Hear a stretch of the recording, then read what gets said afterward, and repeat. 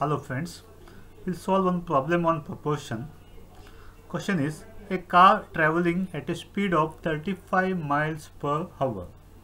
A distance can be covered in 2 hours.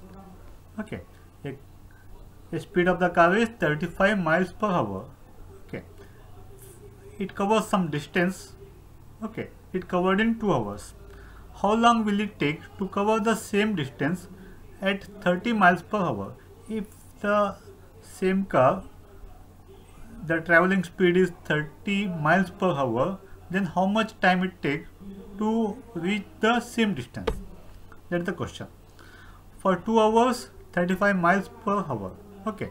So if the speed of the car is 35 miles per hour it reach in 2 hours. If the speed of the car is 35 miles per hour then how much time it take to reach the same distance? That's the question okay so for 35 miles per hour it covers 2 hours. If the speed is less 30 miles per hour. So definitely it take more time. Definitely take more time. If the speed is slow it take more time to reach.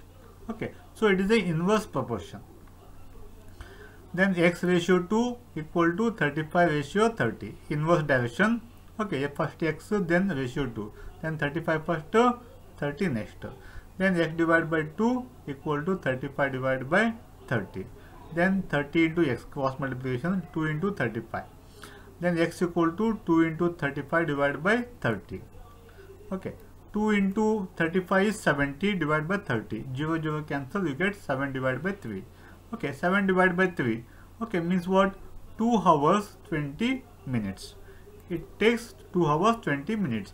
Okay if the speed of the car is 30 miles per hour take 2 hours 20 minutes to reach particular distance. Clear no? Next we'll solve one more problem which is asked in uh, 2015 question paper for 5 marks. Question number is 17 20 men can do a job in 90 days. How many more men would be required to do it in 50 days? 20 men take 90 days to finish the work to do complete a job. For in 50 days how many men are required? How many more men are required? Okay. So x ratio 20 equal to 90 ratio 50 x divided by 20 equal to 90 divided by 50 so 50 into x cross multiplication equal to 20 into 90 x equal to 20 into 90 divided by 50 okay. So you get 0 0 cancel 5 4 are 4 into 9 36 so total 36 men are required to complete a job in 50 days. Already you have 20 men. Okay. So how many more men are required? 36 minus 20 equal to 16 16 more men are required. Already you have 20 okay.